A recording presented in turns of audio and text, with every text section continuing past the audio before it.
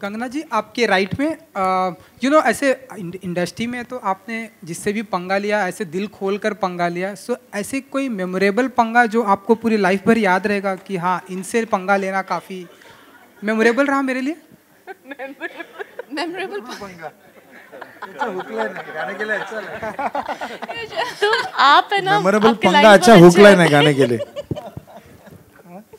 Well I think सबसे ज़्यादा uh, मज़ा तो मुझे इंडस्ट्री के ही लोगों से पंगा लेके आया वो आपको पता है वो कितने चार्मिंग हैं? सबके सब।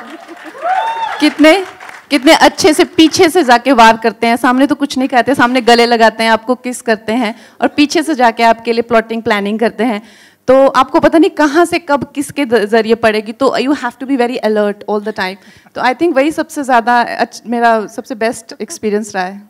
अश्विनी uh, जी Shwini. uh, एक uh, त- आपके राइट में मैं ही uh, uh, सिनेमा घरों में एक साथ में uh, फ़िल्म आने वाली है स्ट्रीट डांसर एंड आपकी पंगा सो पंगा होने वाला है। सो आप बताइए आप लोग इस पंगे के लिए कितना रेडी हैं? श्रद्धा हाँ। मेरी मतलब she is really close to me she is almost like our daughter अब भी नितेश की फ़िल्म में उसने काम किया. She is a friend Varun is a really dear friend I think इस ज़माने में we can't compete with each other we all are coexisting और हम सबको सबकी फ़िल्मों के लिए we just have to pray and make sure that our industry function so all film have to do well नहीं तो बॉक्स ऑफ़िस नहीं चलेगी तो प्रोड्यूसर्स कहाँ से आएँगे हमारे लिए?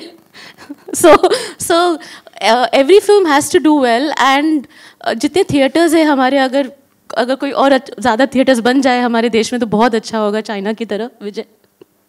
ताकि हर फ़िल्म एक नई सिंगल रिलीज़ मिले अब वो ज़माना गया अब सिंगल रिलीज़ का कोई मौका नहीं है पर जब दो फ़िल्में साथ में आती है तो we should just encourage and rejoice each others films. Ashwini, Kangana hi. आपका टेक I फ़िल्में think साथ- I am uh, honestly I am just very happy that they are both not of the same nature. कई बार जो दो फ़िल्में होती हैं वो एक जैसी ही होती हैं चाहे उनकी जो टारगेट ऑडियंस होती है कहानी अलग हो लेकिन उनकी टारगेट ऑडियंस अलग uh, नहीं होती। लेकिन हमारे केस में ऐसा नहीं है। स्ट्रीट uh, डांसर की टारगेट ऑडियंस अलग है और हमारी uh, अलग है। So which is kind of a relief I would love to have a solo release to be honest मगर like uh, Ashwini ji said, this is now a far-fetched dream.